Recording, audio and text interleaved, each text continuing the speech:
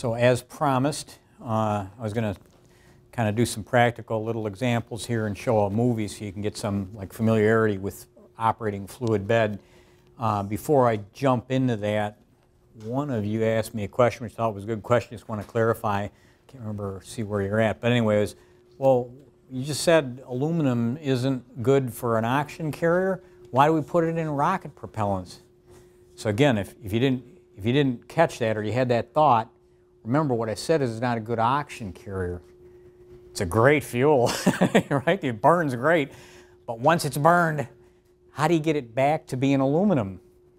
It takes a lot of energy, right? That's why I said you have to go through this Hall process. So it, it doesn't work as an oxygen carrier that's thermally regenerated could work great as a fuel. and We're going to get to that here in, in just a second. But you got to figure out what you do with the oxidized form of that fuel to get it backwards. So I want to make sure that was clear.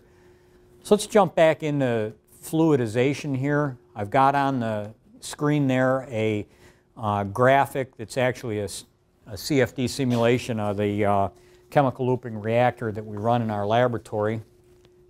It's, you'll see a photo of it here in a minute. It's about 15 feet up in this direction. Um, so I'm showing you actually how this works in the lab where this is the air reactor. It has a, uh, a cross-sectional area that's you know, a little bit larger and then it necks down to transport solids up. So here the uh, velocity of the gas is actually a little bit larger than the transport velocity in this region. So you have a very turbulent bed being pulled up and then when you neck down then you really accelerate the material and the only purpose up in here is to get you up to the top to create enough hydrodynamic head for the processes in this region. Notice I said enough hydrodynamic head. So think about this like a fluid, right? It's fluid beds. I'm going to ask you, where is the pressure in this system the highest? Think about it like a fluid. Where is it the highest? What's that? at the very bottom, right, down in here, right, because you have all that material piled up on here. It's that pressure right at that point that is pushing the fluid out into this region where you're taking material out, right? And so this is actually the L valve that's controlling the solids flow into the system. This is how you control the flow rate, how quickly that material is spinning around the system. It's brought up into this region, separated out centrifugally in a cyclone, dropped into the loop seal. Remember I talked about loop seal? That separates the oxygen in the air that's up in this region from the fuel and the product streams in this region. And then I can control the height of this bed just by restricting the flow rate through here. I'll build up a little bit more. Once it gets to steady state, there's a pressure that's established here that I'm actually counteracting with how much I fluidize. So I can set that level how I need to to give enough residence time to convert the fuel. Okay, so that's how the thing actually works. I, uh, we talked about where's the pressure, what controls the circ rate, and what the loop seal does. So just so you can actually see this on the next uh, slide here, I've got a movie that'll show you in cold flow uh, all those processes. So it's, I just think it's instructive. So you'll see that, if I can get this started right there. Uh, you'll see in the background there, there's a, you know, a, a cold, you know, version of what we just described. Here's the L valve. It's not actually got a sharp right angle, but you can see the material coming this way. And then it's blown up through this part of the reactor. But take a look, and when it stops, I'll ask you a question. Which way does it look like to you the material is moving in that part of the vessel? Which way does it look like? You think it looks like moving? Okay, we'll go back a minute here. Here's the, the flow coming out of that L valve. Look at how irregular it is. It's regular in the mean, but you can see there's kind of this starting and stopping. And uh, you know, if you put pressure taps in there, you can see those fluctuations. I don't know, to me that region looks like it's going down, all right? It is. but the bulk of the material is going up. It comes down and rains down on the walls because the wall friction slows the gas down. And so really what happens in those processes is the material is often moving down right at the walls while the core flow is taking it up you can see very irregular system. I guess I could go back one more time and just let's quickly see if we can play that just so you don't miss all the fun here. Because it's just instructive to me to see these things physically. So again, you know, you can see the material. It looks like it's raining down in this region, and it is right at the walls. The material in the core is actually moving up. So when you say that right away, you start to realize the complexity of controlling reaction rate, right? Because I have material that is recirculating in this direction, but the core material is moving up. So I have this mixture of residence times going on in what I think of as a bulk flow device. In fact, it's not. And so here you can see material taking on a longer residence time in the system at the bottom of this L valve before it's drawn into the flow that's carrying it upward. Not quite steady, but uh, depending on the fluidization rate, you get different flow rates through that system. So again, just a close-up view, material right at the wall coming downward, you know, with gravity right in the boundary layer at the wall. The material in the core is flowing up uh, very rapidly. And here you can see the cyclone separating that material out dropping then down into, in chemical looping, you would have a loop seal right there. So you get a sense of, you know, the unsteadiness that's involved in the process. You get a sense of like, how does the, the, the solid actually move through the system looking at those. So I just introduced you to fluidization, and all I really talked about was hydrodynamics. You also need to have that stuff reacting. You need to look at the extent of conversion and you got to worry about heat transfer. So now it starts to get even more complicated. If you wanted to design a solid fuel chemical looping boiler, what's, what's the best reactor look like? We, have not actually built them before, and I've already shown you there's distinct differences between this and like, say like a, a, a boiler or something like that. There are a whole bunch of trade-offs on the oxygen carrier, and uh, so it starts to get pretty cumbersome. How do I design the system to optimize the performance of the carrier, the heat transfer, the conversion. Well, some of those issues are pretty hard to do at a design level just intuitively. Some you can, but really I think we're going to rely more on, you know, CFD. And uh, there is a whole community, and uh, one of the world's experts, my colleague Madhav Syamlal at NETL, has developed, he and his colleagues, the multi-phase flow interface exchange code, MFIX, and uh, you can actually download this. If you have to work in this area or you decide you want to pursue uh, you know, multi-phase flow or chemical looping, this code will help you get a start in terms of doing simulations. I'm showing here an example simulation that they're doing for uh, uh an activity where they're doing uh, uh, biomass to liquid fuel. So it's sort of like cat cracking with biomass pyrolysis products. The interesting thing about modeling fluidized beds, it is heterogeneous. You might think, well, we're combustion engineers. It's sort of like a spray, but it's not. It, in fact, is quite a bit different because the particles persist and the age of the particles matter. You know, I just showed you on the movie, you got some particles that are coming back down against the wall. So if those are reacting, those particles have more time in that part of the vessel so how do I model it as truly a like two fluid approximation between solid and liquid when I know that the age of some of those, like some of them might be an oxygen carrier that's fully reduced. Well, I have to distinguish that particle from the one next to it that isn't. And so it becomes really complex when you look at the age distribution of the particles in these reacting systems. The other thing that's interesting, is unlike you know, a spray, the fluid can actually freeze it goes through a phase change to become a solid again, right? You fluidized it from a solid bed of material to make it behave like a fluid. But if your design is a little bit off and you have a dead region, what is it? It's almost like a solid again, right? So it is like a phase change.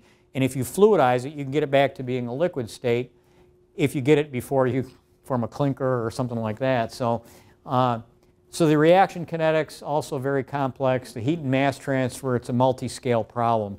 So uh, if you work in this area, there are great computational tools available. There's also much, much work to be done to make them address all the issues I just described. Uh, Sham, my colleague, is actually working on an exascale version of MFIX right now that be part of the exascale challenge that the U.S. is pursuing within DOE. He's actually using chemical looping as his example problem. So I'm telling him, if it doesn't work, I'm blaming you, the modeling guys, right? No, we, don't, we don't work that way. We know how hard this is. Just because of time, and I know you are going to want to hear about supercritical CO2 power cycles, I'm just going to breeze through a couple of these slides and then we'll jump over to SCO2. So Uh, bear with me as I decide which we can skip over here. You know, the question is, if you were going to design the air reactor, you've got all this heat coming out of the oxidizing metal. How do you get it out of there? Well, it's an interesting problem to design that just because that's sort of the same problem you do with a circulating fluid bed combustor. This is kind of a schematic of a real circulating fluid bed combustor. You put coal into the bottom of the reactor and then it's carried up by the flow of gas, separated out in a cyclone, and it circulates around until all the carbon is basically gone, right? The uh, solid stuff is separated out in this cyclone before you go through additional heat recovery and then on through the final gas treatment. You can take these slides and work through them. The main message, you know, to give you is the design of this thing to remove the heat depends on the kinetic rates, depends on how you decide to do it. There's an open design problem here just in terms of the configuration. So I'm just going to breeze through these so we get to uh, uh, supercritical CO2. But I give you on the slides a bunch of representative parameters, like on this slide, shows you the amount of circulation of solids or relative to air in typical systems. So if we say hydrodynamically, I want to stay close to what we know works, you can pull these slides up and look at, here's how I would design the thing. And it's interesting just to work through the numbers yourself. It's not really a research issue here, but I included the slides just to show right here and then right on here. There's a whole bunch of ways you could design the heat removal. You could design the linkages between the air reactor and the fuel reactor. Take the slides if you're interested in this area. You can work through them you really get into it, just give me a call. I'll be happy to talk to you. You might be the one that has the best idea about how to lay out the system. Our lab right now is pursuing a system optimization code where we can compare all the different layouts that you might imagine so you can trade them off in a design space. It's really a tough problem because we don't have all the kinetics yet that we need, but uh, we're starting to find out where the important ones are. So uh, I'm going to skip over that and then I'm going to start to show you some results. So from our lab, recent research results, this is just fun to see where are we at right now in terms of developing chemical looping. The image here is actually our chemical looping reactor. This was the image or the, the CFD representation of what's inside of this device. It's what we actually run to do our tests at, in a full loop environment. And uh, if you want to go see really what's happening in this area, I would highly recommend getting the proceeding from this workshop. There are quite a few really good papers there. I think I counted the number 100 peer-reviewed papers in five sessions on chemical looping. My point is, a lot of people working on this, and uh, so you can go in and read through all those papers, get a sense of where people are at. So I'm just going to show you some things that are happening in our lab right now. We're, we're focusing on technology development and perform. We want to get to performance on coal, but we're doing these initial studies on natural gas in a full looping mode because we want to solve all the problems on a simple fuel before we jump to a more complex fuel. We're doing coal just in like single bed fluid reactors to get the kinetics right, to understand what happens in those. We're trying to make sure we get all the hydrodynamic correct in an actual uh, gaseous system. So here's what we're doing. Oh, I didn't know this was going to go through. So we're bringing together the kind of computational modeling I described, development of carriers. Uh, we have sensors to actually measure high temperature flow rates, and those are coming together in our experimental facility that I think it's about like 15 feet, as I mentioned before. So if you come see us or visit us, be happy to give you a little tour, take a look at what this thing actually looks like. So we've been focusing on a couple of different oxygen carriers. Uh, hematite is the stuff you just dig out of the ground. It's iron ore, really is. And uh, if you just grind it up, you can use it as an oxygen carrier. Uh, we found out that you could actually make it react a little bit better and get a little bit deeper oxidation reduction if you just put an alkali in there like sodium, potassium. I think we use potassium. It's a, it's a catalytic effect for the process, so that's pretty easy and low cost to put on there. But then we, I talked a lot about copper. We were having a discussion uh, earlier about, well, what about copper? It seems like the best one. Yeah, if you just look at like raw numbers, but when you actually just take copper and put it in a chemical looping carrier, at the temperature you're going to operate at, you're probably going to make globs of big clumps of copper uh, agglomerates because it's soft. So one of the things we, we did, and this is my colleague Ranjani Siriwardane, she realized she could get sort of the, a mixture of copper and iron supported on alumina. Really a great carrier. I think we run this thing in like TGA, TGA or fixed bed tests, I can't remember, like 1200 centigrade. I thought it's just going to form a solid clump. It should be soft. Doesn't, doesn't do that. We've been able to run it without any agglomeration. That's never been a problem with this material. And uh, we've recently been able to make it in like ton quantities with an external supplier so we could run it in our larger device. So it, it has a lot of interesting promise. Uh, you get more performance as you move along the bottom here, but you also get what you pay for, right? Copper is more expensive, and if I have to make it, then I got to worry about a manufacturing cost for the carrier. So this stuff you just dig out of the ground and grind it up and it will work, but the performance is actually not wonderful. So I'm showing here a plot of, this was done with methane plotted against temperature. These are the three carriers I just showed you and you can see here's that raw iron down here. Methane conversion, 0.2. Uh-oh, not so great, right? If I promote it, I can do a little bit better. I put an alkali on there, it'll promote it. And then if I use the one I mentioned earlier, the, the copper iron supported, I'm up above 80% here.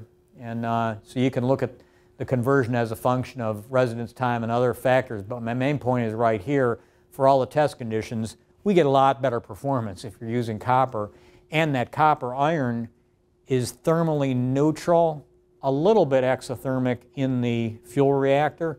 Like I said before, when we ran that most recently, I mean, they're drinking donuts and coffee while it's running. You try to run the iron and everybody's just waiting to see what's going to, you know, they got to keep everything balanced. Here we're just waiting for data to pour in because it's thermally balanced, right? So it's very easy to circulate it. You don't need to worry about the thermal balance with that material.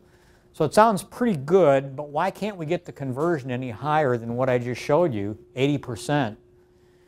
So I'm showing on this plot this is a, a, cutaway view of the reactor looking down into the fuel reactor, A to A. So that's the actual cutaway that physical experiment. Here's the simulation looking down in here. I don't know why it squashed that, but you're looking down now. We took the thing apart and you just run it cold flow. So look what happens as you look down on that bed. When we just run gas through it, you're looking down at the top. What do you see coming out of the top of the bed? Big bubbles, right? Well, it's a fluid. What happens when you pump air into the bottom of, you know, an aquarium tank or something, right? Bubbles start rising to the surface, discrete bubbles, and those bubbles have the fuel with them. And if you can't get that bubble to break and mix that fuel out and contact the solid, it will not react, right? So you think, oh, bubbles are too big. I'm an engineer. How do I make them smaller? I'll put I'll, I'll, put a porous plate on there, or I'll just make, you know, bigger hole. I'll, somehow I'll change the way I'm putting the gas in there. That'll help, right? What do you think? well, that's, that's what I would have thought, but I had to go talk to my fluidization friends. So you compare them in CFD here, everything from a porous plate to six holes to four holes. Look at the size of the bubbles. They really don't change a whole lot. They're stuck in there, right, at that size. Why?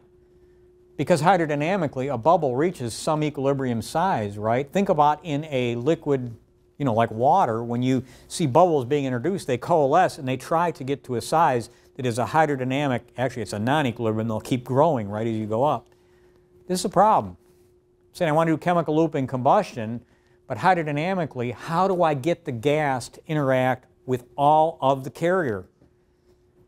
So you, you might not want this geometry. It might be better to do a moving bed. If you look at like Professor Fan at Ohio State, big proponent of doing moving bed counterflow so I don't have bubbles, and he uses very large particles. It's a great idea, but then I have other issues with that approach in that for solid fuels I have to distribute all the solid fuel evenly across what will be a very large bed.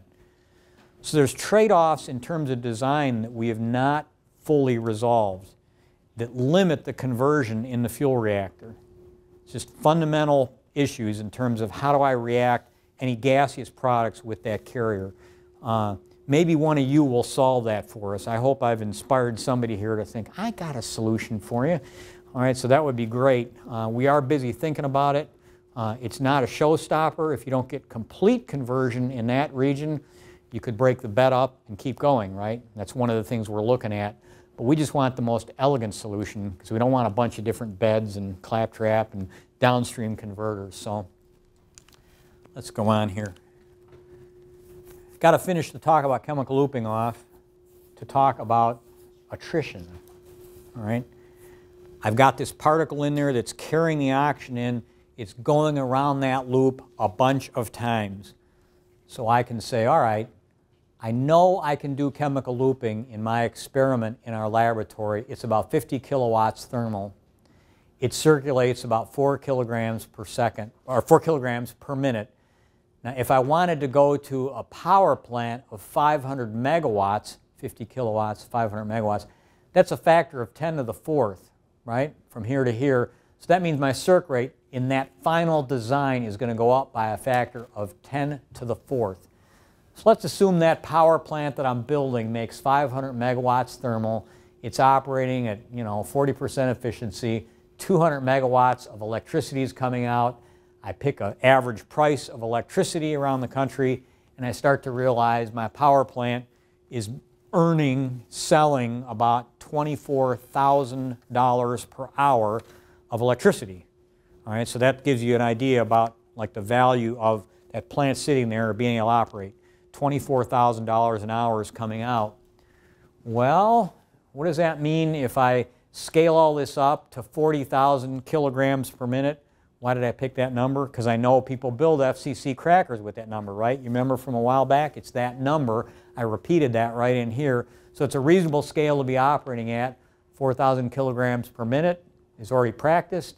Usually when you talk about circulation rates in the chemical looping literature, circulation is per hour, so I'm going to convert that out. 2.5 million kilograms per hour zooming around inside the chemical looping process. Attrition of the, whoop, attrition of the material is defined as the percentage that breaks off as fines and is lost per hour. So what's a reasonable number to expect there? You, I mean, you're going to abrade some material off. It's bumping into each other as it's moving through there. This is a pretty decent and realistic attrition number, 0.1%. I think it's probably doable in most FCC systems. So if I'm circulating this much around and I have this much attriting, I get 2,500 kilograms per hour broken out as attrition, even in a good system if the material costs just a dollar per kilogram, which is pretty cheap, right? And that's like just iron, you know, you can buy, you know, refined iron for that level in bulk, all right? $2,500 per hour of material is just lost if I don't do something else. Are you willing to put up with that? You're making that much an hour and suddenly I'm saying, oh, I got a great process for you. 10% now your revenue you have to take just, you know, put new material into the system. Probably not going to do it. And in fact, what we're seeing right now is attrition rates that are higher than that. I mean, just think about that. If it was 1% attrition rate, which is even lower than what we see in the lab, you'd be spending all your money replacing the material. Attrition is the issue, my opinion, with chemical looping. You can't have that high attrition level. So we're working on how to harden the carrier, how to avoid attrition, how to make a better carrier, robust carrier. But let's be realistic. You can't make an, you need an inexpensive material, right? I can't afford, if I know I'm going to have to struggle with attrition, I can't afford really expensive materials. You should consider real-time reprocessing. And the OSU group, you know, has just accepted that from get-go. If you listen to Professor Fan, who's really a leader in this stuff, he said, no, I'm, I'm, I'm planning to build it in as part of my process. Well, that's not a bad idea, right? I don't have to worry about it if I just build that unit process in there as the fines are separated out, you know, in that process because they'll probably make it through the cyclone. You'll catch them in a baghouse. You just separate them out and reprocess them and stick them back in. So it's not a showstopper, but it's a serious complication that you need to think about, right? So if you say, oh, I heard this great stuff on chemical looping. I'm going to go work that issue think about this issue carefully because it'll, it'll slow down your idea. You've got to be able to either reprocess it or make it extremely robust. So, so there's some, uh, some issues to deal with in chemical looping. So I started off with this discussion on, on energy conversion in general. I said, well, you got to have efficiency and you got to have low cost carbon capture. Yes, question.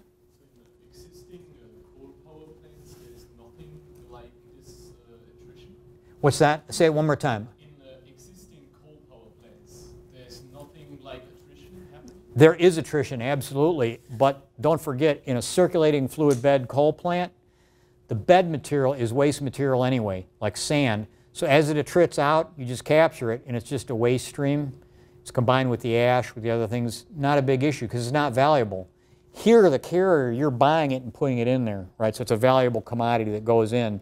It, and in fact, you could think of it as an additional fuel cost if you just lose it, right? But yeah, attrition's an issue in those systems as well. If you get too many fines collecting, you can defluidize the bed. So, good question. Go ahead. I'm just wondering uh, if size is a function, the attrition is a function of size. Uh, do we have like optimized size for the um, or whatever we're using? I mean, if we go smaller on size, are we solving the problem of attrition Yeah, you're saying efficiency of the overall plant as a function of size. Yeah, of course, the, the general rule of thumb is in power plants, the bigger they are, they're more efficient because you just cut down on volumetric losses and things.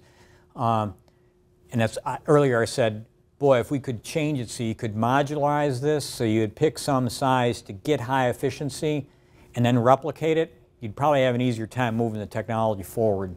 So, great question, great question. So, on this slide, I just I want to point this out again, get you to think about like where this technology could go. I, I mentioned at the beginning of the talk, okay, I want to get a high overall efficiency and interesting enough for chemical looping, I don't have anything here. I don't need a carbon separation unit. It's part of the process. So that goes away, right? But what about this part? Is chemical looping a good choice in efficiency? What do you think? Compared to what we do today, is it a like home run winner, clear winner? It's married, uh, go ahead, I'm sorry, go ahead. It depends on what you mean. If it's like comparing to coal power plant generator, you will have a fixed efficiency Yep. approach, but for, for this one, you can actually go higher. Yeah, the chemical looping process avoids penalties of separating CO2, of making oxygen, but it, it still relies on the same basic cycle to generate power, right? So you don't get any benefit in that regard.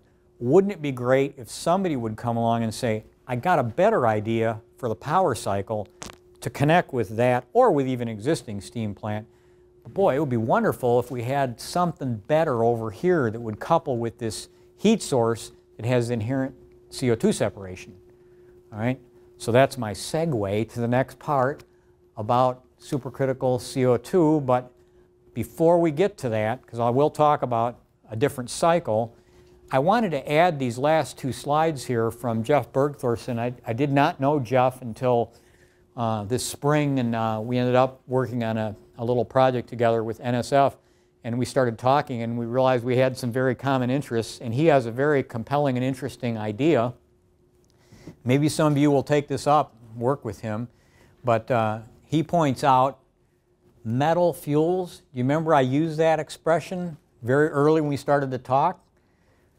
He points out these things could be a recyclable energy carrier, right? So the energy density, and this gets back to the comment I made about aluminum, not great as a carrier for chemical looping because I can't thermally reduce the oxide, but you can reduce it electrically, in which case it becomes a great fuel, right? I mean, for that matter, so would silicon. Silicon is silicon dioxide. You could burn it. And there are, you know, different people who've noticed this and point out the energy density is substantially higher than even conventional hydrocarbons, right? So there's people that have, for example, used aluminum directly reacting with water. All right, you, you, you provide the oxygen to oxidize it from water. You know, the group at Purdue, how many Boilermakers we got here, all right? You know, you got all right, Boilermakers here. You know, they flew a little rocket on that concept. Uh, Jeff Bergthorson at McGill, he's got an alternative fuels lab where he's making hydrogen by that iron steam reaction. then you have the, the oxidized metal and you have to go somewhere else, do some other process to reduce it back again. But it's an interesting thought. You know, you can burn iron, you can burn aluminum in flames and, you know, if you collect the material up after it's been oxidized and re-reduce it, it becomes an energy storage media. It's an interesting thought. So uh, he put this slide together to kind of show conceptually his notion here you know, and making a metal fuel cycle where you take primary renewable energy, reprocess the metal oxides, and then move them around and trade them the way we do fuels today. You already have an infrastructure that moves coal around and other things. Interesting idea. Uh, Jeff is, is not bold enough to claim that we're going to be putting pulverized iron into piston engines. That's not his point. You could put it into indirect engines like steam Rankine, those type of things, or even SCO2 with indirect heating. But uh, it's a very interesting idea. So maybe you can go read his papers, think about what you heard today, and come up with an idea. Could I use this as an energy storage media? It is not at all far out for me to think about that, particularly for small energy storage. I mean, there's people that have done this for unique niche applications just to get the thing started, right? So some things to think about, uh, courtesy uh, my, my colleague there, Jeff Bergthorson. So I told you we would talk a little bit about how do I get to higher efficiency so my heat source from chemical looping isn't just put into today's power cycle. So we'll take a look at supercritical CO2 power cycles. This is uh, not actually a new thought, but there's been a growing interest in it a lot of literature, a couple conferences already happening. So we'll get started here by just doing a little bit of my favorite subject, thermodynamics. Here we go. We're going to be here all night now, all right? so anyway, take a look at a, a recuperated gas turbine cycle here, all right? Let's treat it as an ideal cycle, all right? So in an ideal cycle, you know, you go through the compressor, you come through the recuperator, you get this temperature right at this point X, combustor adds the heat, go through the turbine, come over this way. In this ideal cycle, the recuperator is set up so you get this temperature exactly equal to that one. I know that doesn't happen in the real thing, right? There's got to be a temperature difference to drive that. But in an ideal world, let's take a look at that. Draw a little control volume around this particular box, and you see right away there's work coming out of, you know, here. The temperature here and here is the same because it's an ideal cycle means the enthalpy is the same, right? For ideal gases, is the same at those two places. So all I have is heat going in and work coming out both ends. And uh, you think about that. If you don't think about it too hard, you might be worried I just violated the second law there. I didn't. This is not a cycle. Although the temperatures are the same here, their pressures are not the same. I need to do something to make a complete thermodynamic cycle so I don't have heat going in and work coming out, right? So it's not a cycle. But the point is, when I draw the control volume and make this assumption, if I do the same thing on this side, the heat that ends up reject, being rejected by the complete cycle when I close the loop to get back to the same set of conditions, it has to equal the compressor work. Right? This is just basic recuperated cycle thermodynamics. If it's ideal, all the heat that goes into the combustor appears as work coming out both ends and then the heat of compression is what you reject to have a closed heat engine. Okay, is that clear? Pretty simple stuff from Thermo 1. What that means is in a recuperated cycle, you want lower compressor work, right? Because that's what's going to end up throwing it away to have a, you know, heat engine cycle. So if somebody, you know, in practice, recuperated engines, they're typically low pressure ratio machines that because of the, what I just described here, but if somebody could come up with a clever way to reduce compression work, well, that would just be great, right? You'd say, I, I want to go try a recuperated engine, different than before. So how do I get the compressor work to go down? Well, you know, there is this new interest in alternative working fluids. Most heat engines today, air steam, you know, 100 years of work on this stuff. Exception, organic Rankine cycles, right, for low temperature conversion. There's people that use organic working fluids, but it's still a Rankine cycle. But there's a recent literature, you go in and start to look up some of the citations I've got, you know, using supercritical carbon dioxide as a working fluid. Depending on which literature you look at, there's claims of several percentage points improvement projected, again, depending on the actual system configuration. You can also lay this out as a direct oxy-fuel power cycle. The CO2 at that, in that case comes out at high pressure, ready for storage, ready for transmission. And an extra benefit here, the turbo machinery is really compact, very high energy density for the turbo machinery. Uh, so it has some big advantages. It's really a combination of sort of a gas and steam turbine cycle. You know, if you think about a conventional steam turbine cycle, you don't really have hardly any compressor work, right? It's a fluid that you're pumping up at pressure. But you end up putting a lot of energy in and out of this phase change, and that's where kind of the efficiency ends up really taking a hit, right? You're just putting energy in and out of a phase change, but you have a lot of turbine work expansions. That's, that's how a steam cycle works. Brayton cycle, gas turbine cycle, conventional, you have a lot of compression work here.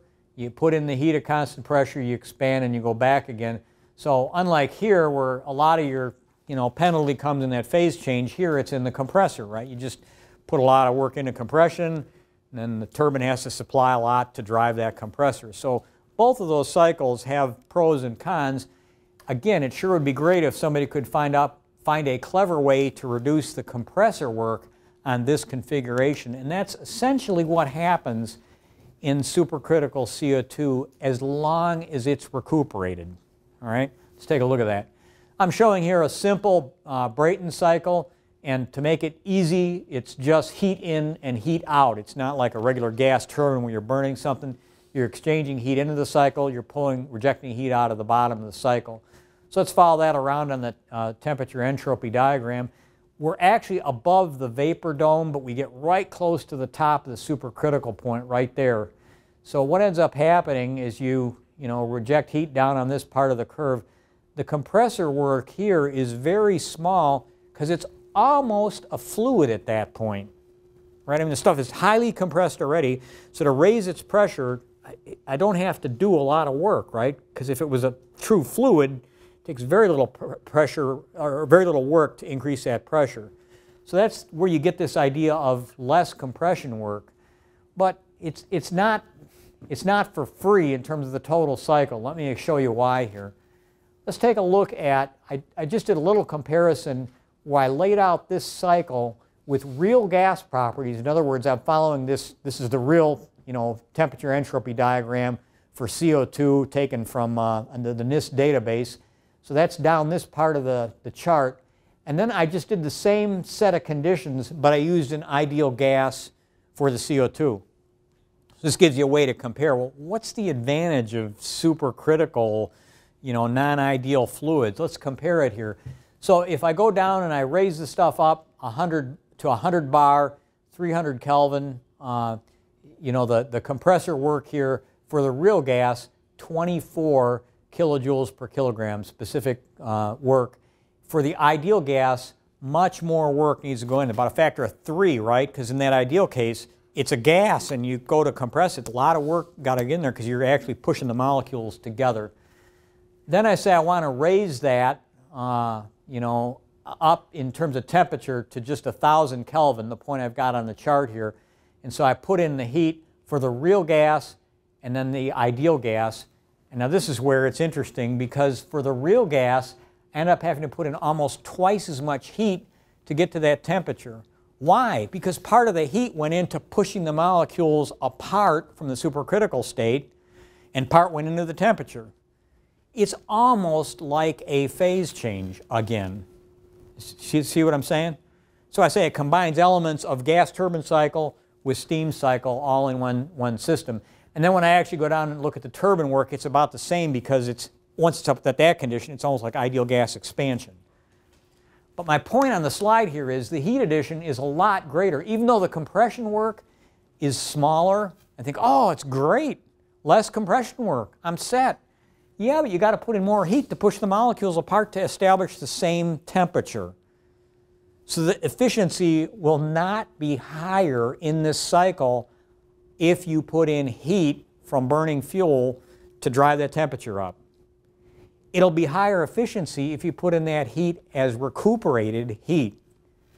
Sometimes people don't understand this about this cycle. I want to do supercritical CO2, and they'll say, oh, it's wonderful because it takes less work to compress the supercritical CO2. I get that. But if you don't recuperate it, you're going to end up putting in more thermal energy from the fuel to drive the temperature up, right? So you have to recuperate the cycle. That's why I put the slide together to kind of lead you to that conclusion. Question, yes? What's the power density of the supercritical compared to the subcritical? Uh, the power density comparison between the turbo machinery here and between like a conventional gas turbine, I, I don't know an easy way to compare that in terms of the turbo machinery. But for example, you know, a, I wish I had a slide. There's one that shows the size of the turbines. And there, there's one for a conventional steam turbine. I've seen this image where the turbine's taller than I am, and it's easy to be taller than I am. But anyway, it's quite large. And then the same power output from a SCO2 turbine can be like yay big. Right? So the power density is very large because you're operating with this dense supercritical CO2 fluid. So I, I don't have an exact number. If you want to pursue that, one of the references actually shows that comparison directly that I had on the previous slide, but it's much higher power density. You know, the turbine here is almost like expanding a liquid. It's like, wow, there's a lot, you know, it's a very high density expansion. So great question. Uh, I mentioned the need to recuperate this cycle. You have to recuperate it to achieve high efficiency. There's a subtle detail that you'll want to know about because people call this the split cycle. And uh, this is going to be a little bit hard to understand in a time when we're kind of pressed for time here. But as you near that supercritical point, there's substantial heat being rejected as you're trying to cool that material in the recuperator. You think about the other stream, it has a different specific heat, right? Because it's at a different state on the TS diagram. You're trying to get the heat to go over to it. Well, it turns out there's a certain point you just can't get the heat to transfer anymore because you've pinched it, right? There's so much heat that you're trying to get out without much temperature change on the low pressure side, you can't transfer it over and recuperate it. So what you end up doing is breaking up the recuperation into two steps so the mass flow rate is different in two different recuperators. So that's how you get the heat to recuperate back in. That's kind of a subtle point. I went over it very quickly, I know that. But if you sit with it long enough and think about it in the TS diagram, you'll, you'll see right away, oh, I can't do it because there's so much heat coming out as I get near the critical point. It's like a phase change. It's a lot of heat coming out at one temperature where the other stream is above it and is actually being heated. And so it will heat up quickly and you'll run into a point where you can't transfer the heat back in.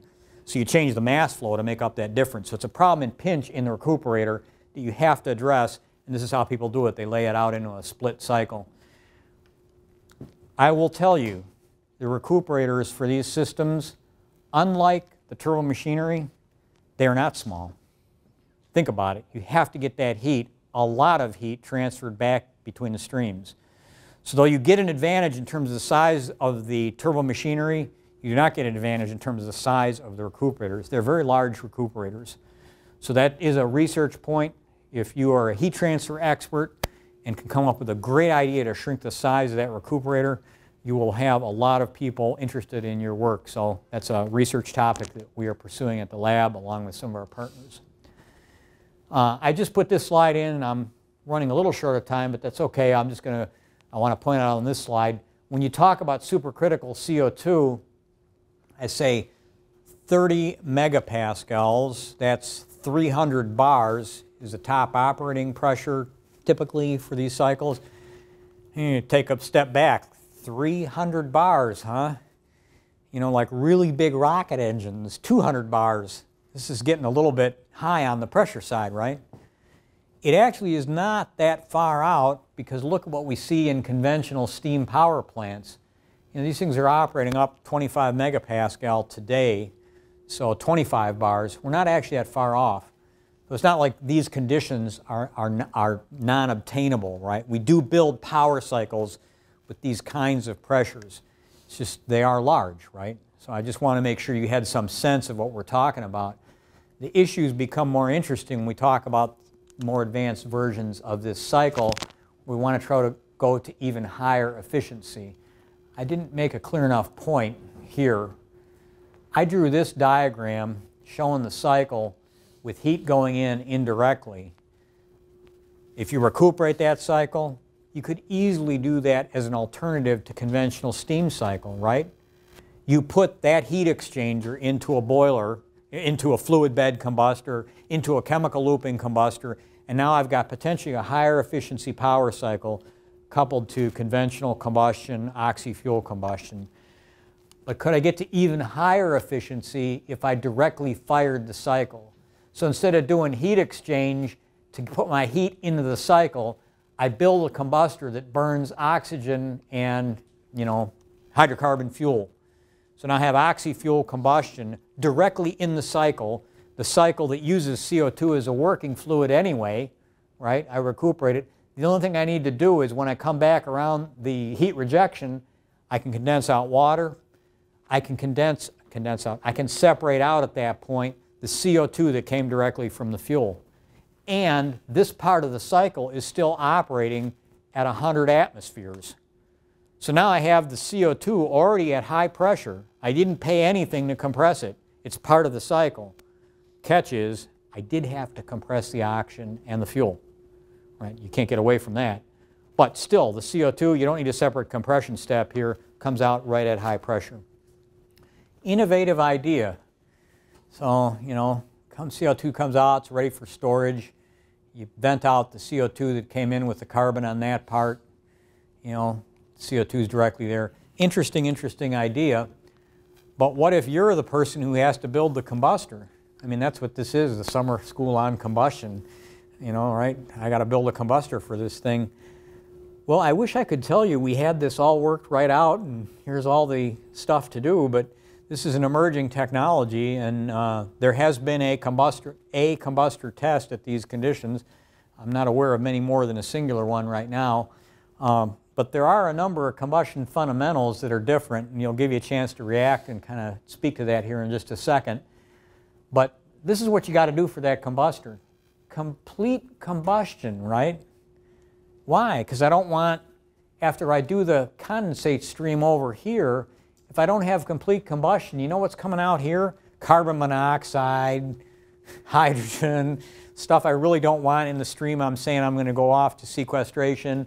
I don't have good fuel conversion. I've got to do good conversion of that fuel in a stream that basically is diluted with CO2.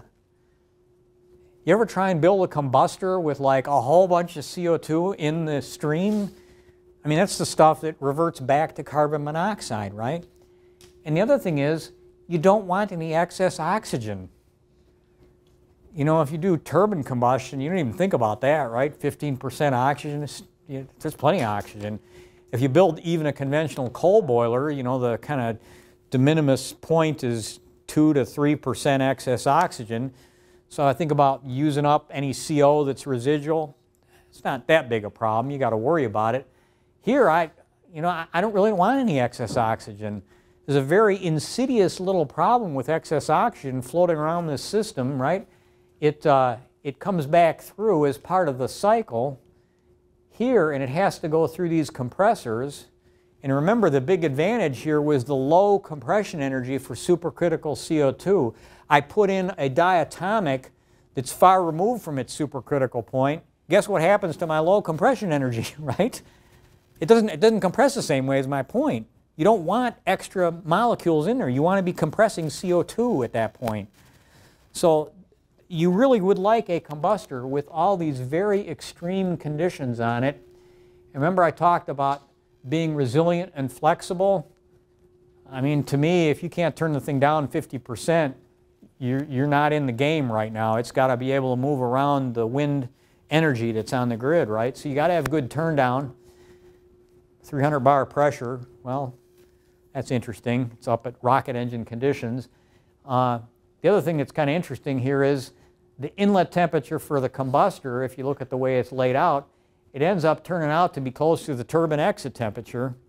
That, that's not really unlike a recuperated engine today, but it's just it's an issue you got to deal with because you're going to be trying to mix that fuel and air and oxygen right in that stream that's already at high temperature. So it's, a, it's an interesting design problem. And don't forget, if that wasn't enough, you need to light it. You know, I'm, I'm, I love theory, you know, all kinds of stuff. I really do. Uh, but I, I, before I went into engineering, I was a motorcycle mechanic. So I'm also very practical.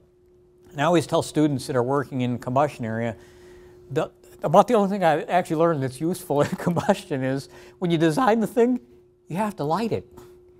And, and so if you are actually working in a company or something, you get a new combustor design, I'm just giving you free advice here that write it down and take it to the bank. You're going to end up designing the thing around how you light it. And typically people do not start that way if they work in like a practical environment, if they came out of school, right? But if you're going to do practical combustor design, I've struggled more with like research combustors that we couldn't light than anything else. You know, the one I showed you that we did in that hypersonic wind tunnel, uh, we were sweating bullets on the igniter design. And when we got there, that was the most difficult part, getting the igniter design right. So, so just some free advice there. Uh, it needs to stay lit. you know, I guess that's a given, but sometimes it'll go out, and you better know what's going to happen the moment it goes out with the rest of the engine cycle. Because if the compressor surges at that point, uh, there'll be a lot of people who get nervous, uh, and it, it, it can happen if you got a lot of volume between the compressor and the turbine. So you need to know what's going to happen if the thing goes out. What, by the way, what about NOx in this cycle? NOx? What do you think about that? I've seen people doing research in this area. Oh, I'm going to do NOx production, oxy-fuel combustion. What about it? What's that? There would be NOx if you have nitrogen coming in. Yeah, there won't be any if you, if, obviously if you have pure oxygen, you're probably going to have a little bit of nitrogen from air separation unit coming in there. But I'm not sure why people really worried about NOx too much here. If you're going to take the stream, the non-condensables out and sequester them, you're not going to vent it into the air. You might have to worry more about NOx because of, like when you do the condensing, forming acids, but frankly I would be more worried about the CO2 in that regard. Right, so, so you just need to think about like, do I have to worry about NOx production from a little bit of nitrogen? Depends on the rest of the system and what you're going to do at the end of the day, right? But probably not as big an issue in my mind. I got plenty of other things to worry about. So a question for y'all, what combustion fundamentals are going to differ here versus other technologies we're, we're working on today? What are a couple fundamentals that maybe we don't know so well here? Anybody? What would you start working on? You might have to, you don't know, right? Different combustion fundamentals. Anybody? It looks like a very heavily EGR combustor, so Yeah. you might not expect to see the flame front. Yeah. Yeah, it's, it's, it's a very different set of combustion conditions. So what are the kinetics, right? I don't know. I can tell you where the equilibrium sits easily, but what are the actual kinetics of conversion? I don't know.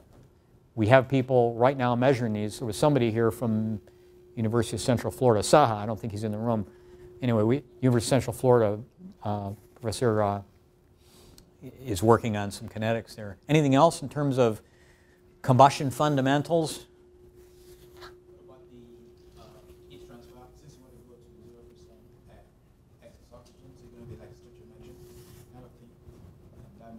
Yeah. Yeah, the heat transfer is different in many regards, even in the like downstream portions of the cycle where you're starting to get to conditions in the recuperator where you're nearing supercritical point. What's the heat transfer coefficient for supercritical cooling? I don't know. Well, of course, we were in a hurry, so I said, well, can I even design a combustor for this thing?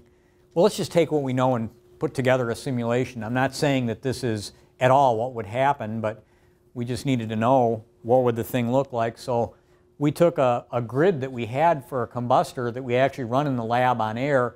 We jacked it up in the simulation to 300 bar. We put in the oxy, oxygen, and I think this was methane fuel. Just this is not sophisticated. Just use out of the box CFD, put in the design you want, and convert it to supercritical CO2, and just see well what happens. Help us get our feet wet in terms of how this thing behaves. So uh, here was the trial case that we did, the geometry I just showed you, and uh, this was the very first thing we started to notice when we ran the simulation. Boy, did we get combustion dynamics. you can see the flame is just like flapping around in there. There's a uh, spinning mode inside of the combustor. And I don't know, I, we, I didn't want to start something here and tell you the amplitude of the oscillation here because there's no guarantee this would happen in the real world because we have just assumed kinetics, we have assumed a lot of things. But you know, when you're running a combustor at 300 bars, a 1% pressure fluctuation is how many bars? Three bars? You really want to avoid combustion dynamics because this is rocket engine conditions, right? And you know, rocket engines have lots of issues with dynamics. So you do not want to overlook the possibility of dynamics in this system. The com oxy-fuel combustor that I showed you that we tested at a hypersonic facility, because I, long time ago, really did a lot of combustion dynamics, I designed that one to be stable from day one. It was the first thing on my mind after where do I put the igniter? The next question was, how do I make sure it's stable? So we broke up the oxygen injection and avoid any coupling there. We used a diffusion flame. This is a premix flame. We did all the tricks we knew to make it stable, and it was rock steady. So we had fun looking at that one. We said we don't want to do that. So my colleague Pete Strakey put together a combustor design. You can see multi-injector combustor. It, it actually is modeled after a combustor that he's familiar with from the Space Shuttle main engine booster pump. And we ran that simulation. It was rock steady. All right, so smart understanding of the issues coupled with good design take away some problems, right? So all these things you're learning, they really matter, right? You don't want to be the one that designs it without thinking through that set of issues. How do I avoid every one of those issues before we cut metal, right? That's why you need to focus on all these fundamentals because, you know, you don't want to be the one oscillating a combustor around. By the way, in terms of unique conditions, I plotted up here on a Borghi plot. From this simulation, we just went in and measured you know, turbulent velocity fluctuations to laminar flame speed, length of the eddies we saw from the simulation versus the, the flame thickness, and then plotted those up on a kind of a traditional Borghi diagram. Look where they look where they sit relative to like gas turbine conditions or internal engine combustion conditions. Way up here, because the you know the Kolmogorov scales are just like nothing. You know, so you have this unusual regime of turbulent reacting flow that you just probably haven't seen in other engine cycles. So just telling me that it's a little bit different environment to be working in. So I guess there's a dinner and I'm, it's like right at 5.30. So this will either give you something to talk about or indigestion, right? Uh, you can go think about the technologies you heard about today. What do they do for these different issues that we started off with, right? I have my opinion where they land on that chart. And I'll be honest, some I'm worried about some of these issues. Some I think, yeah, I think we really got that one nailed. But th these each play a role in terms of where the technology development is going to go. So you can think about it, you know, and, uh, and, and be warned, tomorrow we'll come back here and we'll talk about some even more far out types of things, rotating detonations, MHD power extraction, pulse detonation engines, really cool things. Look, I'm just advertising because otherwise you might go home, right? It's Friday, but we'll, we'll try and make it interesting tomorrow afternoon. But we'll start with just get your views. How are we doing on this chart? Because we'll do the same thing when we look at those other technologies. So uh, I can stay and answer questions, but probably everybody wants to go and eat. So maybe if you got a question, just come up and talk to me. But for everybody else, we just go. So, oh, go ahead. Or if you want to. What's that? Previous slide. Previous slide. One, one on the previous. Yes. For the combustion diagram, you have some um, uh, circle inside the broken reaction. The directly absorb the flame or combustion in the broken reaction. Um, this is for premixed. It's not for non-premixed. So I'm just plotting up what we found at these set of conditions, turbulent velocity fluctuations divided by laminar flame speed, where we pull that out of a, a textbook. So I'm just trying to place where is the combustion on that regime, you know, for, for conventional engines and then for, you know, two different conditions for oxy-fuel. So. But I can, we can talk more directly. I'm going to conclude for now, so.